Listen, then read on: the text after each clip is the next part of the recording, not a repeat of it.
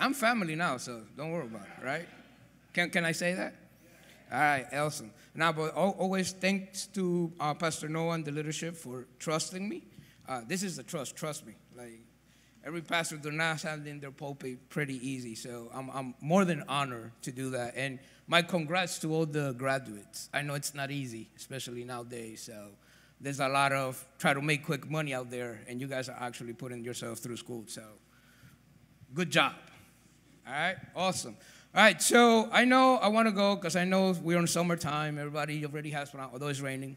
Sorry, no short today. Everybody after church. Um, so what I want to do is, um, I love the worship today. Oh my God, you guys were awesome. Honestly, like you guys, I was somewhere else to be honest. Um, and I loved it because what I'm going to speak today requires a lot of that you guys were talking about today: trust, breakthroughs, and things of that nature. So that's that is uh, awesome. So let's go right into the word. Um, so we could start, and, and then uh, as you guys know, I preach about two hours. So if you're here for the first time and listening to me, um, I hope you brought your snacks, your things. If not, we have snacks in the back, bagels. You see, today they brought bagel because they know it's going to be a long day. Nah, but, so, nah, but uh, it's all good. So, yes, if we go to the word, if you have your uh, real Bible, you can open it to Mark 4 35 31. By real, I mean the physical one. If not, you can open your electronic Bible. If you need one, I got one here. So we're good. All right? If not, they have it. Oh, okay, there we go. Yeah, so look, if you go to the book of Mark, chapter 4, we're going to read from verse 35 to 41. Uh, this is a very famous scripture. Uh, if, if, you read the word, uh, most likely you read this hundreds of times. Um, and, uh, but I want us to take out something specific from here today. So if you have it, say, Got it. You have it? Say, Got it. All right, cool, awesome. So let's read. It says like, it says like this On that day, when evening had come, he said to them, Let us go across to the other side.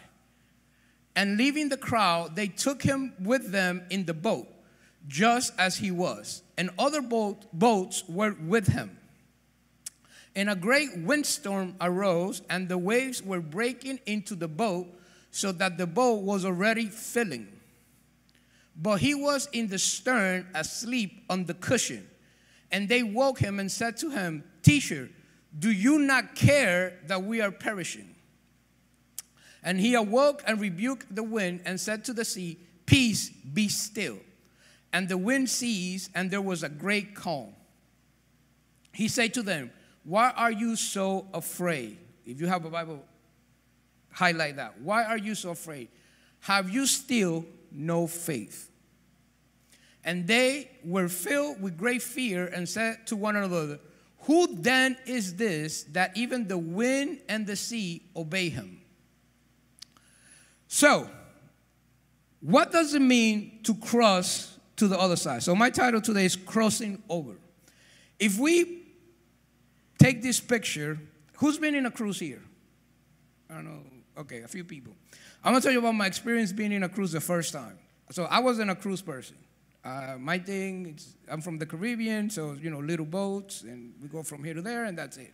My wife, oh, then yeah, when we got my wife, she was a big cruise person. She used to love because she says that in the cruise you really vacation because you don't do anything. Like you're in the middle of the sea and you really relax. Like where you gonna go? You're not gonna go over, overboard or something like that. But I was afraid of cruises. So one day we were one week we went on vacation to Miami and she told me, hey, there's this weekend cruise to the Bahamas from Miami. Do you want to try it out? I was like, sure, no problem. So I said, okay, let's probably buy the tickets or like that. She took care of all that stuff. She's like the cruise expert in my house. So I go in and I see these two huge boats. Like if you've seen a, a Royal Caribbean or Carnival cruise, this big thing. I'm like, oh, okay, I could handle that. But she told me, no, we're not going on that one. We're going on this one. And when I looked at this one, it was like half of one of those. Because it's like a two-night thing. Like it's, it's a like small cruise ship. And let me tell you, from the minute we set sail to the minute we came back, you feel everything in that little boat.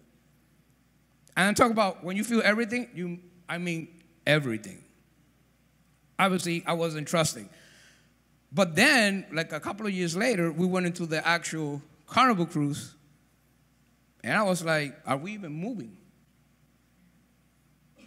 Are we even moving? Because obviously we're stronger and so on. So the reason why I tell you this is because sometimes our fears interfere in how much we trust something. See, in the little boat, it wasn't that I was probably feeling everybody else. It's the fact that since I had fear, I was probably putting more attention of, of the moves of the boat, where are we going, you know, what's this, what's that, because I have a type of fear. Once I went through that and I saw the big one, my mentality automatically changed. Because uh, this is bigger, and they say bigger is what? Better. I saw modern structure, so I was different. But when we got on the boat, they even told us, oh, yeah, we went through a storm on the big boat. I was like, oh, I didn't even feel it. But people were like, you didn't feel it? I was like, no, it was fine. But that's the difference. Sometimes we, our mentality to cross over from one type of mentality to the other requires trust. So, what does it mean to cross to the other side? Before we do that, I want to start with one question. And this question is right here What do you need to leave behind in order to grow or solidify your relationship with God? What do you need to leave behind in order to grow or solidify your relationship with God? What do you need to crush your mentality? What do you need to go from the mentality that you have right now with your relationship with God to what we were saying? We were saying today, we're going to want a breakthrough. In order to have a breakthrough, that mentality that you have now needs to change. And there are certain things that you need to leave behind. Because a breakthrough means what? stepping over, breaking through something. If you have a lot of weight on you, it's going to be harder for you to break through something than if you just say, you know what? I'm going to leave this behind. I don't care. I'm just going to go full force and break through it. So, what do we need to leave behind in order to grow, solidify our relationship with God? But in order to do that, we need to understand what's the other side. What is the other side? Ruben, yeah, you've been talking about crossing over. You told me that Jesus crossed over and all these things, but what is the other side? The other side might be your prayer life. Sometimes you say, well, God doesn't hear my prayers or something like that, but maybe you need to leave certain things behind to solidify your prayer life. It could be your openness to the moving of God. I think somebody, when they were talking about the, the offering, they say that they doubt sometimes. You're not like, gas is expensive. Uh, and it's more expensive when you have a car that you have to put super. Trust me on that one. And then, and, it, and then you doubt, but you know, your openness to the moving of God. And, and I'm not going to go into the giving, but if there's one thing in the Bible that God says to test them on, is giving. You can read every, the only time that God tells you, test me on this, is when you want to give. He said, and test me by giving. Now, it could be, well, meaning to go to the other side could be your battle against sin. And like always, you guys know me by now, ever as I tell you, right? I'm flesh and blood, one point that way, four going my way. We're all sinners. It could be your discipline in the Word of God, that could be your other side. It could be your approach in worship, that could be your other side. It could be your walk with the Lord as a whole, that could be your other side.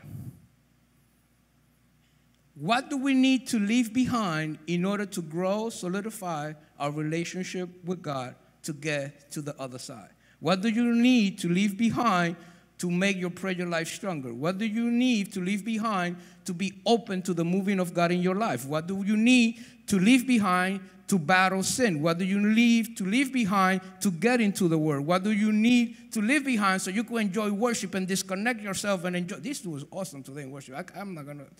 My wife missed something real good. She loves worship. Um, what does it mean to leave behind to solidify your walk in the Lord? For some of us, the other side might look very different than it does somewhere else. We're not unique figures. You know, we were created to the image and likeness of God, but our rhythms of life, the way that we go about life, is completely different. So, it, you know, it, it, it means could be the complete opposite. Like you should have somebody who has a strong prayer life, somebody who doesn't have such a strong prayer life. And then you need to kind of understand that it's not, my wife hates when I use this word. Um, Christianity, Christianity is not, you cannot approach Christianity with a cookie cutter mentality. Do you guys understand what I'm trying to say? Like, the way God is going to shape me is not the same way that He's going to shape you or you or you or you. It's not a cookie cutter. He doesn't have just like a cookie cutter, be like, okay, this and this and this and this. We cannot approach Christianity with a cookie cutter mentality. Don't tell my wife I told you guys that. Um, but you know, she just says, like, why do you use that? It's like baking. You know, people enjoy baking. They're, like, she, she, she tells me, you must stop baking for everybody now. Because every time you grab a cookie cutter in your hand, what are you going to think? Oh, Ruben saying not to approach my life relationship with Christ. That's a cookie cutter mentality. No, but it, and that's what it is. Many of us think it's a cookie cutter mentality. What's the cookie mentality, cookie cutter mentality of Christianity? I get up in the morning, I pray, I read the word, I go out the door, I come back in. Before night, before food, I pray, I go back at night, I read the word, I pray, and I go back and over and over and over and over and over and over and over. But you don't know if in your relationship like my prayer life was weak at one point. And it came to the realization because of the work that I do in the regular way, I travel a lot. I used to travel two hours one way, two hours the other way, or get on a plane on a Monday, come back Thursday, leave back again on Monday, come back Thursday, next following Thursday, and so on. And I realized, why do I have all this time? But I'm always struggling with my prayer life. And then I understood that in order to be in my prayer life, I didn't need to be in a, necessarily in a room and close all these things. Then I realized, man, I have two hours of riding going to Philadelphia airport from, you know, Union City, New Jersey, all the way to Philadelphia airport. That's two hours that I could just be talking to God. And that click. I know people probably think I'm crazy now when they see me talking in my car by myself, but now you guys know what I'm doing. So don't judge me if you see me on a street light and I'm like talking and yelling and stuff inside the car.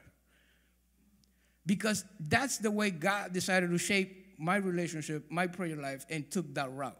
For you might be different. You might need quiet and you need headphones and you need to be in a closet.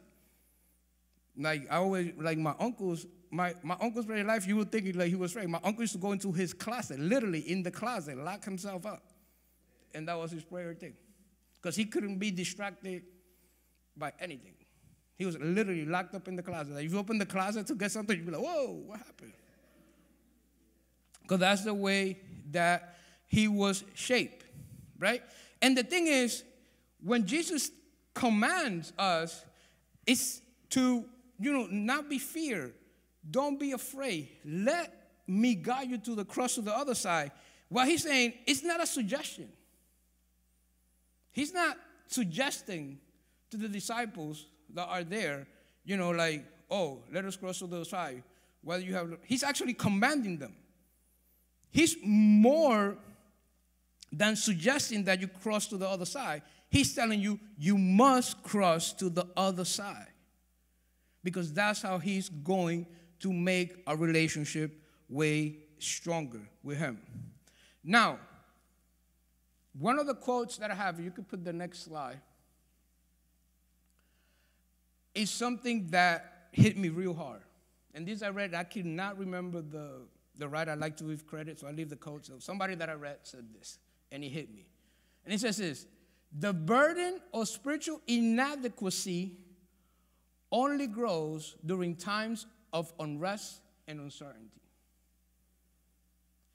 The burden of spiritual inadequacy only grows during the times of unrest and uncertainty. What I tell you this if everything is going good and dandy in your life, you will not feel unrest. If paycheck is coming the 15th and the 30th and you're able to pay your rent and everything, all is good in the hood. The minute they give you a layoff letter, The skies are falling. The skies are falling. So it becomes a burden. Spiritually, the reason why we hit that because the burden becomes harder for us when we are in unrest or in a situation of uncertainty. We don't know what's going to happen. But why that happens? Because we're not trusting. And I say we, I include myself. That happens. It's, it's stressful. It's very stressful. Our burden, when everything is good, is not really a burden. It's like, oh, it's just life. I'm good. Everything is good. But the minute they tell you a problem, everything becomes unbalanced. It becomes unbalanced. Your life doesn't seem balanced. Um, you know, everything you do, you put a negative twist to it, and it becomes very hard. So, why do we do this? Why do we do this? Is because still we have something that is called an inner weakness. You, have, you guys ever heard the term smoke and mirrors? I could do things and it'd be smoke and mirrors. You see me walking down the doors, oh man, Ruben looks strong. Like he's on the Lord, he's worshiping. I could be doing smoke and mirrors. Inside, I could be like crying, depressed, and all these things. Because sometimes for us, it's easier to show that we're normal or that our life is going good. If not, look out Instagram and Facebook. Have you seen anybody in Instagram saying, Oh my God, I need to pay my bills. I got no money. Can you help me? No. Everybody's like, Here's my river. And then if you don't have anything, you say, TBT, throwback Thursday. like, and that Thursday, you probably don't even have money for lunch. But I don't, I'm not going to put that I don't have money for lunch on that Thursday. So what I'm going to put is I'm going to put a TBT to make it seem to the world that everything is okay. And sometimes we do that.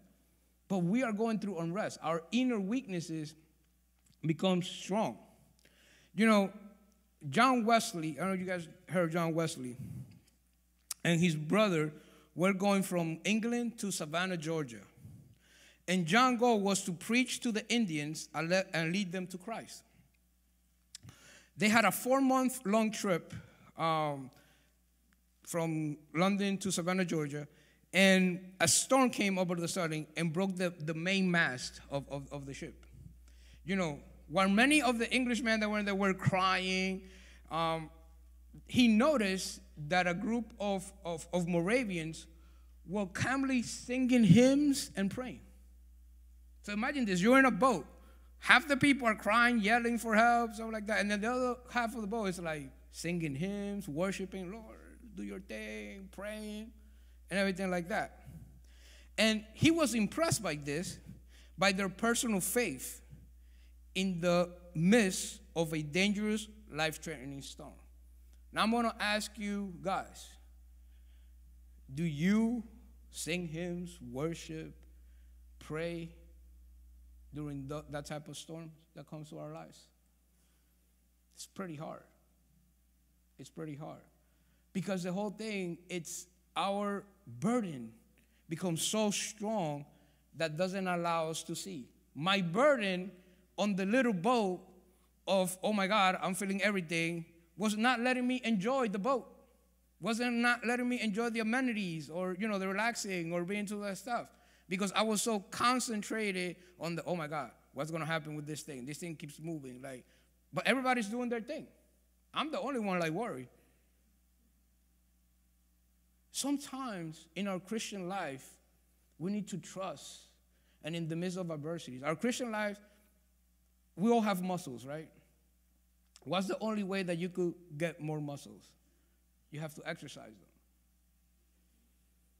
Adversities, uncertainties that come into our lives, that's the way that we exercise our faith. That's the way that we build those muscles so that we could have the breakthroughs. Not carrying what is in there. No, no. Those are the things that help us grow. Those are the things that we know, okay, now my trust. Man, if I didn't have for lunch, okay, that's good. It's all dandy. But I keep praying and, and, and worshiping God, whatever the case might be. Next time, it's like, oh, that was nothing. That I don't have another, I'm good. I move on. Because we need to understand that our strength is in one person and one person only. And that's God. So, what it means to cross over. Next slide. What it means to cross over from death unto life. From death to life. God, Holy Spirit, is the power of this. Only God's Holy Spirit will lift you into that. How do I experience this? We should not fear. The big thing about the verse is like the first thing God tells us, like, why are you guys fearing? Why are you fearing? They just came from seeing miracles, all kinds of stuff with Jesus. They are with Jesus right there on the boat. Jesus is like chilling. He's like, oh, I'm taking a break, man. Whew, let's, let's take the boat. You are with the captain. Like the dude that invented, you know, the seas, that he knows everything, what's going to happen. And he even showed them what he did. Oh, you guys, he's like, oh my God, these guys, they don't let me relax, man. Seas, winds, please be still. I need to go rest. You know, sometimes in our lives, we are with Christ.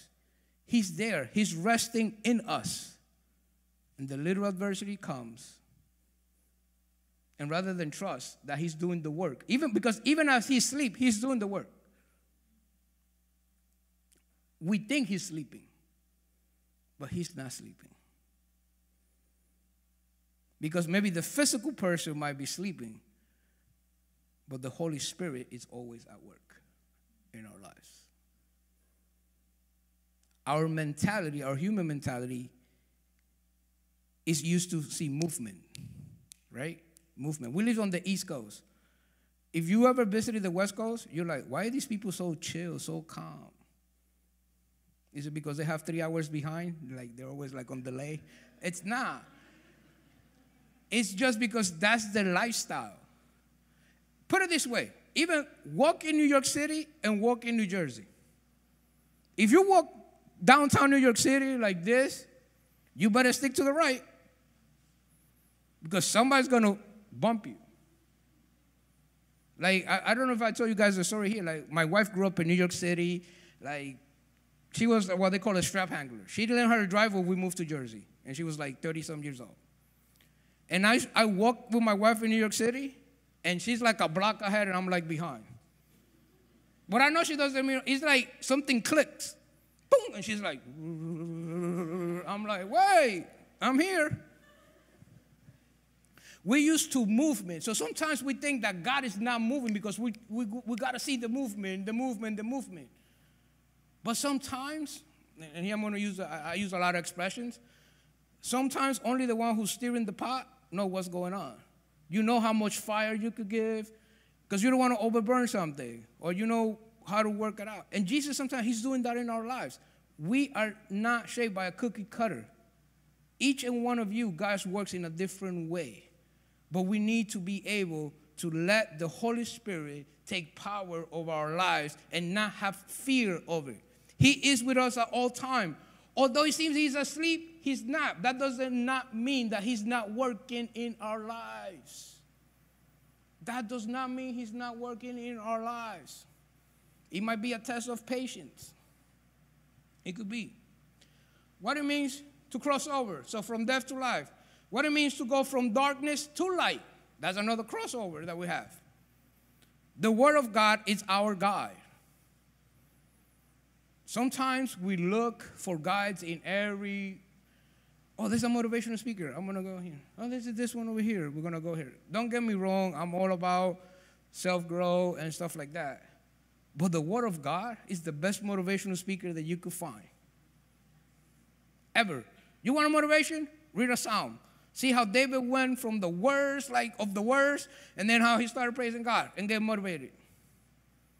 I even tell my son, if you ever want to build a mansion, go to the Bible. You'll find all the measurements. You just got to convert, but you'll find it. You find it. You want to build a boat? Guess what? It's in the Bible. You want to build a car? It's in the Bible. It used to call chariots back then.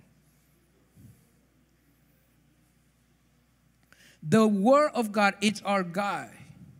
We need to have faith. We as humans have, like I told you, we have mus- muscles. But if we don't exercise the muscles, then they don't get stronger. If you don't go into the Word and read the Word, how's your mentality going to change? How's your, mus- your muscle mentality of Christianity, what is to be in the God, is going to change? God allows our faith, which is the foundation that sustains our path as Christians, to be strengthened. Our daily devotion, our communion with God is what trains us to strengthen our faith. We need to be able to talk about faith and the kingdom of God. Faith in the kingdom of God. Faith in the word, that what the word tells you, that's what we need to follow. We need to, because that's the way that we're going to strengthen. The next one, what it means to cross over from the world to Christ. From the world to Christ. What do we need for that? If you're here for the first time, I'm going to give you the best and you don't know and you don't follow Jesus, I'm going to give you the best crossover that you ever you ever heard. No Stephen Curry, nobody has a crossover like this crossover. From the world to Christ. Faith and grace is all you need. Faith in the one who by grace sacrifices life for you and me so that we could have an open access to the Father and shape our lives every single day. From the word to Christ, faith is all we need. We need to rise up against adversity, but the only way to do it is with God. In order to do it with God, you need to accept that His Son, by grace, died for you and me. That the Father opened His arm, and the power of the Holy Spirit is with us always. There's no adversity, circumstances, or situation in your life that could come against you that cannot be motivated for you to go through. I'm not, and, and this I want to be very clear on this. That doesn't mean that a solution is going to come right away. Problems are going to come. Problems are problems. Even Jesus has problems. I don't know if you guys that Jesus was so stressed at one point that he bled from the stress. But what faith and grace does is allow us to handle and administer the problems better.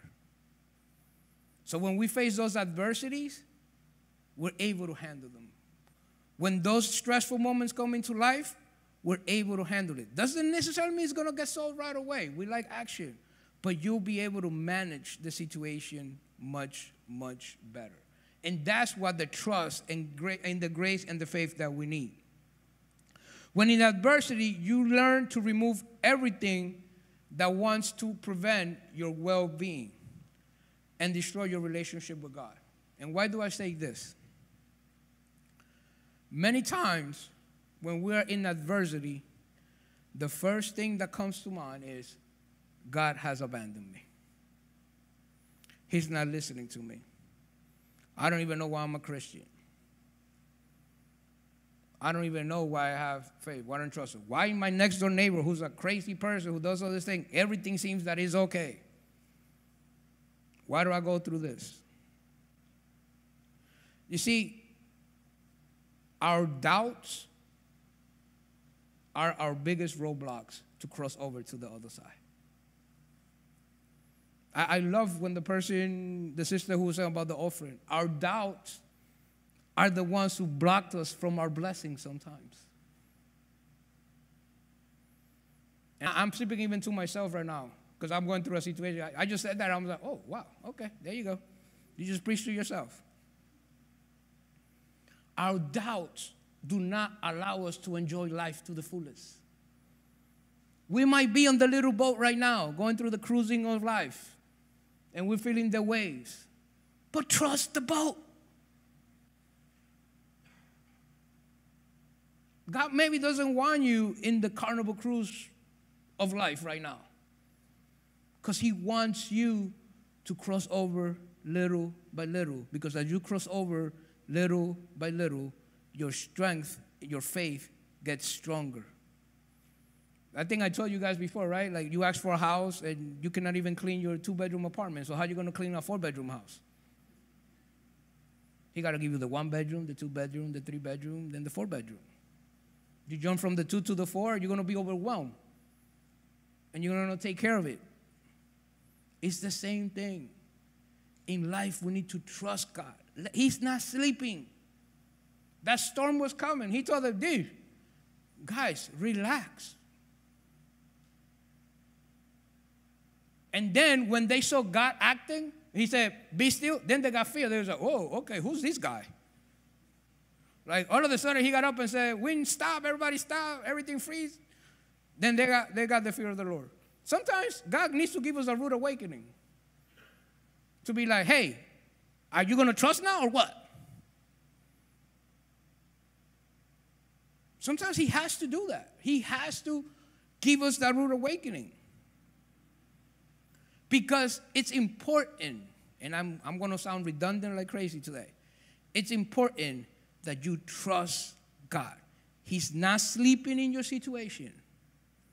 He's not sleep. Trust me on this. It's not, he's not sleeping. He's not sleeping in your situation. But we need to leave behind. What do we need to leave behind? Our doubts. The reason why the disciples were afraid to cross over, it was doubt. So when I ask you that first question, I don't know you guys could go to the first slide for that, for that question.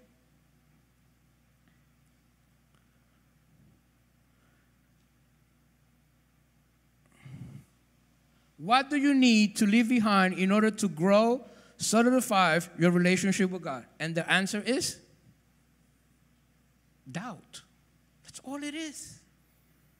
If you doubt God, you will never be able to solidify, you will not be able to grow. We need to trust. When you say I trust God, when you when we sang today, right? For a breakthrough and you believe in a miracle, saying that you believe in the miracle means that you're trusting God. Otherwise, your doubt is going to block your blessing. We need to trust. You know, sometimes we need to know what we're singing. See the word, but look at the words while you're singing. Proclaim what you practice what we sing. It's not just here come on Sunday say, "Oh God, I believe you have a miracle," and then you go Monday, it's like, "Oh man, is it gonna happen? Is it not gonna happen? Or what's gonna happen?" Those are the doubts that blocks us from that. Do not fear; He's with us at all times. Although he might be asleep, it does not mean that he's not working in our lives. Darkness to light, have faith. From the word to Christ, like I said, faith and grace. If you notice, everything that I said has to do with trust, to removing that doubt. The other thing that we need to do is we need to order and prioritize. In order for to order and prioritize, when you order and prioritize is a call to submission. If you have doubt in what God is going to do in your life, you will not submit to God's authority. And that's when all the problem starts. The minute we fail to submit to God's authority, all our issues are going to stand. You have to put things where they go. I will tell my son, your yes will be your yes, your no will be your no no matter what the consequences are. Your yes will be your yes, your best, your no should be your no. And if one of the peepees of mine, it's lying. Oh my God. You white, if it be a white lie, that sends me off the roof. And, and it's not because it just came out, it's just because I learned the hard way. And sometimes we lie to ourselves. If you ever look at somebody who's going through depression, they will always tell you that they're good. I'm good. Oh, everything's peachy. I'm good. I'm good. And what you do is we lie to ourselves because we're trying to handle the situation. We're trying to, we try to, sometimes we try to submit ourselves to our knowledge, to our understanding of whatever, than to submit to the authority and power of God and the Word of God. Which is what we've been left with to move forward. And we need to prioritize those things in our life order and prioritization. You know, the reason why Jesus ordered the sea to stop was for that to instruct it and to put itself in place. When the seas are going great, they're not, that's not in place. So he told them, you know, get in place. Sometimes when our lives are, you know, we have our lives and we're going from left to right without knowing where we're going, sometimes God needs to pull us and put us in place. Doesn't mean he's doing it because he don't love you. Actually, the reason why he's doing it is because he loves you. And he knows the consequences that that could bring into your life. We need to understand that in order for us to feel safe, listen to this, in order for us to feel safe, God needs to put you in your place. Listen to this. In order for you to feel safe, God needs to put you in your place. And here's where the riddle starts. But you need to give God a place of priority in your heart. Because if you don't give God the place of priority in your heart, it will never happen. You will never go to the place that He sends you. Now, like I tell you one thing, tell the other. Might not be the most comfortable place that you need at that moment. But trust Him, He's not asleep, He's working. Lastly, what is meant to cross over from earth to heaven? Christ is our captain. Who can really say here that Christ is our captain? Is Christ your captain? If God tells you jump, you don't say why, you say how high.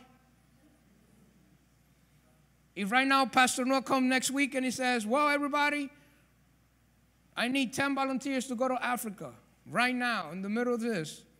God showed me this. And receive revelation from Christ. Will you leave what it takes to go? See, part of what Christ was trying to show those guys was that.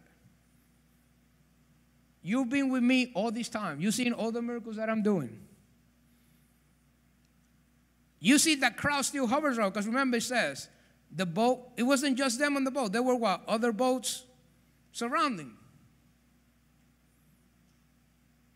We've been with Christ all this time, for those who are Christians. And for those who are not, trust me, you could experience the best thing in the world there is. I'm not going to tell you it's going to be an easy path, but it's going to be the best path. We tend to doubt, even though we're with the same, with the person to us through the whole life. Christ did this for us. He's our captain. So for me, even though I got in the little boat in my cruise or the big boat, I needed to trust the captain that he was going to get us to a safe port. Do you trust Christ to bring you to the port that he needs to bring your vessel? Do you trust him? No matter what, you need to go through the storm, you need to deviate, whatever the case might be. About two weeks ago, I came from Miami and we were on the plane, everything was fine. These two weeks ago, they had like some storms, and you guys know in Newark, they say it might rain, and they like close the whole thing down.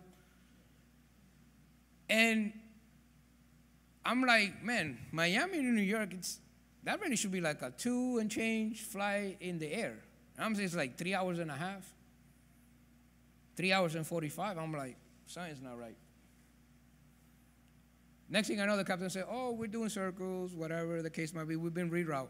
What I noticed was the plane left Miami. So rather than come, you know, like you know, if you've seen the, the coastal line, rather than come across the coastal line, the thing shot up to like Cleveland. So when I realized something was wrong, was we're about to land, I see that the Statue of Liberty is to my left. I'm like, this isn't right. That thing should be to my right. What happened? Then I have the, I don't know if you guys, if you ever want to check your plane, like the route, there's a tracker that shows you everything they do. Let me tell you, I look at the tracker. I saw we went up. And when we went up, like around, up, uh, not upstate, but PA, like all the way over there in the boonies, I saw this eight. And I saw that eight completed five times before it went like this and then took the route like from the west, coming from the west. So a plane that was supposed to come through the north and just go up north and ended up going west. I mean, yeah, you know, and then coming back west. But not only that, last an hour just doing circles. Sometimes in our Christian lives, you might think that your life is just doing circles. But your life is not doing circles. God is trying to protect you and keep you safe. Life sometimes, it's not that it's doing circles. It's not that it's taxing. Your life is not just taxing. It's that God is looking for the best way to land your life in Him. And that's what we need to understand. That is the difference to understand going from earth to heaven. In order to get to heaven, God is preparing your way so you could land safe in heaven. You might think that you're doing circles. You might think that you he's diverting the way to you get there. All he's trying to do is to get you landed in him so you could trust in him. We have to give God the absolute control of our lives. That's the only way that this could happen. Because if you don't give God the control of your life, nothing will seem calm. You will always be trying to deal with a storm. If you trust God, He will tell the storm, be calm. He will tell the storms in life to be calm. I know we sang today, uh, and I quoted because it came to me right. I tell you, I was like involved in the worship. Um, it says, we sang today, says, that's on the song we were singing, says, I know break, breakthrough is coming by faith. I know breakthrough is coming. By faith, I see a miracle. I think that's how the word, I don't know the worship guy, correct me. I think that's how it says, right? I know breakthrough is coming. By faith, I see a miracle. In order to have that faith, you need to trust. If you don't trust, adversities, everything that goes by your head will not allow you to eventually see that true miracle. In order to do that breakthrough, we need to cross over. The only way of crossing over to the other side is to trust in God. And lastly, and with this I end, and the worship, if they do, they could start coming up. We sang, Breakthrough is coming, my miracle is coming. But while you trust, there's one thing that we need to do, and it's to rejoice in Him. No matter what, you could be going through the most difficult time in your life. Rejoice in Him. Because the Word says, we said that in order to go from darkness to light, it was to the Word of God, right? The Word says, the joy of the Lord is our strength. But in order to experience that joy that gives you that strength, you need to trust the source that gives the joy and gives the strength. The purpose of the Christian life is not to make the storm pass by us. It's not just, oh, Christian life just, oh, the storm constantly passes. No. It is to see the storm come, pass, but trust, rejoice, and dance while the storm is going.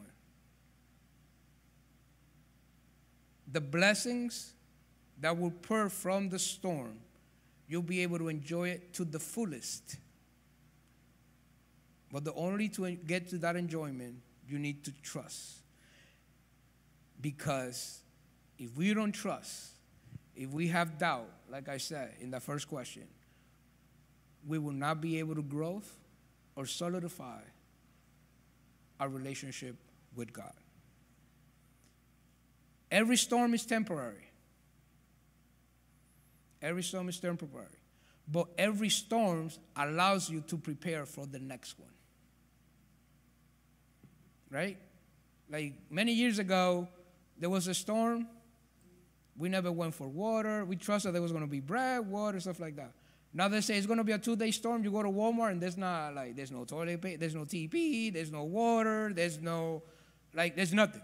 It's like empty shelves because we're used to now learn from the storm, and that's what God wants us. That what that's what God was really trying to teach the disciples in, in that boat. It's like this is a storm. Be still. Like trust. You're with me. Now when the next one comes, you'll be fine.